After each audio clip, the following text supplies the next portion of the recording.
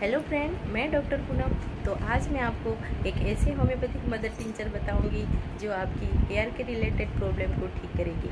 अगर आपके बाल बहुत झड़ते हैं, या आपके बाल बहुत ड्राई है, या आपके, आपको समय से पहले वो सफ़ेद बाल आ रहे हैं, जैसे कि आप थर्टी से नीचे की एज के हैं और आपके बाल सफ़ेद हो रहे हैं या छोटे बच्चे हैं तो सफ़ेद हो रहे हैं तो और अगर आप गंजी हैं तो इस सब प्रॉब्लम में आप यूज़ करिए होम्योपैथी मदर टिंचर जेबोरेटी तो इसको आप कैसे यूज़ करें? इसको आप आ, 10 से 15 बूंद लीजिए और हल्के हाथों से रात में उसको मसाज करके छोड़ दीजिए।